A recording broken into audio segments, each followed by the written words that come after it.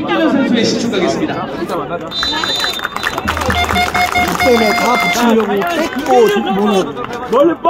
멀리뻥! 김진현 선수의